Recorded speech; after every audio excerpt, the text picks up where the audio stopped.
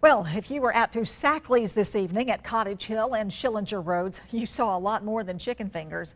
Here's a still shot of a man eyewitnesses say acted erratically in the restaurant parking lot, and there he's doing just that, banging on that windshield.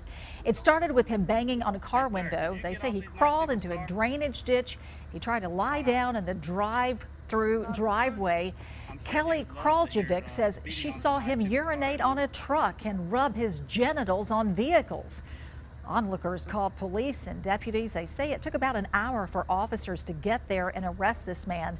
No word on the man's identity or the charges against him.